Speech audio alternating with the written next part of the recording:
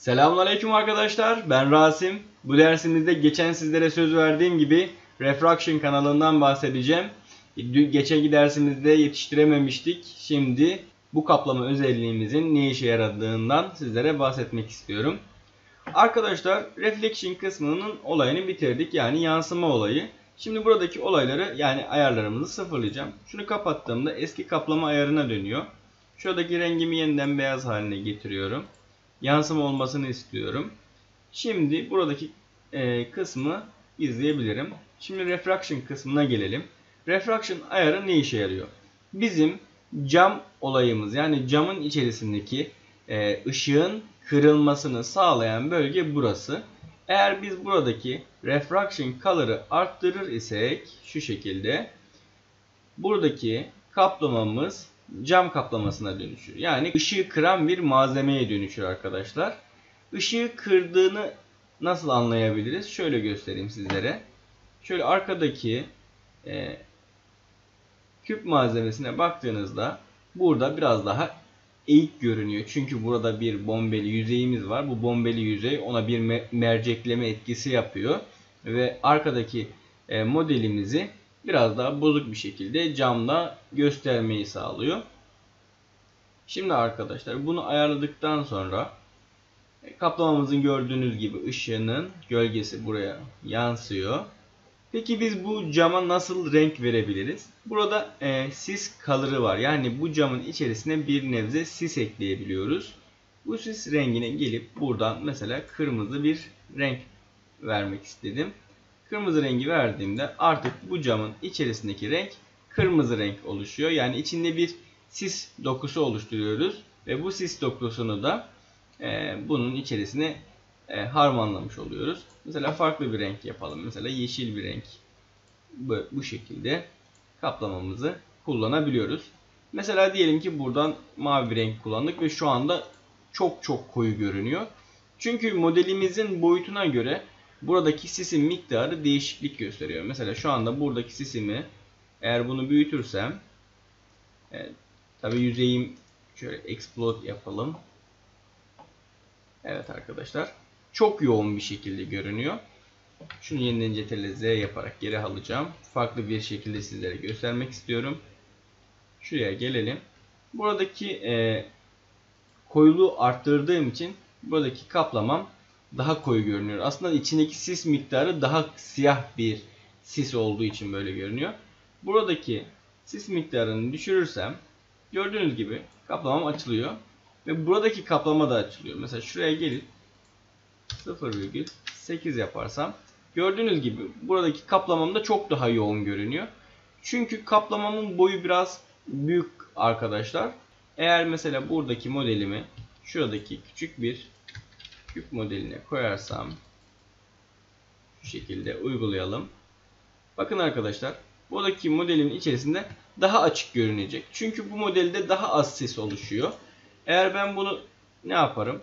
Şunu yeniden explode yaparım. Ve şu kaplamam biraz daha boyutunu küçültüp yeniden biraz daha kontrol edersem bu sefer sis oranımın daha azaldığını, daha sade bir renk olduğunu göreceksiniz.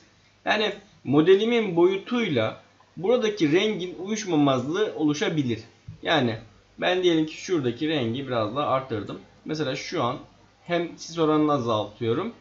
Ayarlarsam şöyle biraz daha küçülteceğim. Şuradan şu kaplamama bakayım. E, küçülttükçe e, rengim, e, modelimin içerisindeki sis miktarı da düşmüş oluyor. Ctrl Z diyerek yeniden modelimi eski haline alıyorum. Şunu stop diyelim kasmadan hemen Ctrl Z diyerek eski haline getirelim. Şuradaki modeli silebilirim. Evet yeniden interaktif render açalım. Gördüğünüz gibi şimdi simsiyah, zifri siyah görünüyor. Çünkü aslında bu şekilde değil arkadaşlar. Modelim çok büyük olduğu için e, içindeki sis miktarının yoğunluğu da artıyor. Ve böyle bir etki sağlıyor. Bundan kurtulmanız için yapacağınız yöntemler şuradaki rengin açıklığını arttırabilirsiniz. Veya buradaki sis miktarını düşürebilirsiniz arkadaşlar. Bu şekilde kullanılıyor. Bir de arkadaşlar şuradaki e, rengini yeniden beyaz haline getiriyorum. Ve şuraya bir tane dikdörtgen bir cam oluşturacağım. Modelimi seçip grup yapıyorum. Şuradaki kaplamamı buna uygulayacağım. Ve gördüğünüz gibi kaplamam şu anda uygulandı. Ve burada Refraction Glosses var. Şimdi Reflection Glosses diğer dersimizden hatırladığınız gibi e, ne yapıyordu? Yansımaya bir pürüzlülük ekliyordu. Buradaki de Refraction Glosses. Ne, ne işe yarayacak arkadaşlar? Bu da e, kırılmaya yani camın geçirgenliğinde bir pürüzlülük oluşturacak. Yani mesela puslu cam gibi düşünebilirsiniz. Şuraya geliyorum. Aşağıya doğru çektiğimde gördüğünüz gibi arkaya artık puslu bir şekilde gösteriyor. Eğer ben burayı biraz daha arttırırsam buradaki pusluluk oranı buradaki arttırdığım ve azalttığım oran miktarınca değişiklik gösteriyor.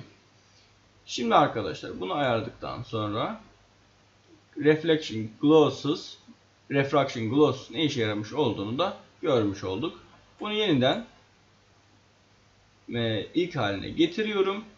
Ve burada IOR kısmı var. IOR kısmı bizim ne işimize yarıyor burada? Ondan bahsetmek istiyorum.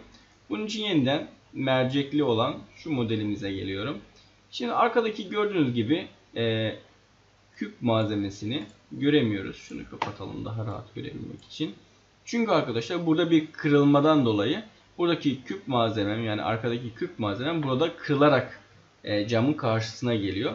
Ve her bir malzemedeki kırılma miktarı birbirinden farklı. Mesela bir suyun kırılması ile bir camın kırılması, bir zeytinyağının e, ışığı kırma oranı eşit değil. Bunun için ne yapmamız lazım? Hepsinin e, kırılma oranlarını internetten bakabilirsiniz. Hepsinin farklı oranları var. Eğer ben buradaki IOR değerini 1 yaparsam gördüğünüz gibi artık buradaki camım kayboldu. Çünkü hiçbir kırılma etkisi yok.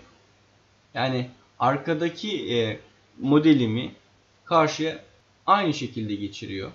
Sebebi ise arkadaşlar içerisinden gelen model hiçbir şekilde e, ışığı kırma işlemi yapmıyor. Yani görünmez bir şekilde meydana geldi. Yansıması da az olduğu için tamamen etkiyi alamaz olduk. E, peki ne yapabiliriz bunun için? Şöyle bir şey yapalım. Mesela buraya bir nokta bir virgül 1 yapalım. Ve gördüğünüz gibi hafifçe kırılmaya başladı. Hatta 1,01 yapalım. Çok az bir kırılma. Belki kamerada bile e, görünmeyebilir yani. Şurada gördüğünüz gibi çok az bir kırılma etkisi meydana getirmeye başladı. Ben buradaki kırılma oranını yeniden 5 yapıyorum. Ve gördüğünüz gibi mercekleme etkisi daha fazla olmaya başladı. Yani bunun e, diyelim ki transparan özelliğinden en büyük ayıran özelliği aslında IOR özelliği. IOR özelliğini kullanmazsak aslında transparan özelliğiyle aynı bir etkiye sahip. Ama bize IOR özelliği ne yapıyor? Karşıdan gelen nesnemizi mercekleyerek yani kırarak camdan geçmesini sağlıyor arkadaşlar. Bir de şu şekilde deneyebiliriz. Diyelim ki e, bir duman etkisi, bir sis etkisi elde etmek istiyorsunuz. Şuraya geliyorum diyelim şuradan e, bir kırmızı renk elde edelim. Şöyle. Tamam. Gördüğünüz gibi kaplamam kırmızı oldu. IOR özelliğimi yeniden 1 yapıyorum. Ve gördüğünüz gibi artık e, yansıma ve normal kaplamamdaki kırılma etkisi olmadığı için sanki orada bir sis bir bulut varmış gibi bir etki almış oluyorum. Eğer böyle bir e, model yapmak istiyorsanız da bu şekilde kullanabilirsiniz. E, sadece sis etkisini kullanmak için. Evet arkadaşlar bu dersimiz bu kadardı. Beni dinlediğiniz için teşekkür ederim. E, bir dahaki derste BAMP kanalından bahsedeceğim. İnşallah. E, Tabi BAMP kanalında e, bitmap'te kullanmamız gerekiyor. BAMP'ı daha iyi anlayabilmek için. Sonra hep birlikte bir kaplama, bir ahşap kaplaması gibi bir kaplama da yapabiliriz inşallah. Görüşmek üzere. Allah'a emanet olun. Kendinize iyi bakın arkadaşlar.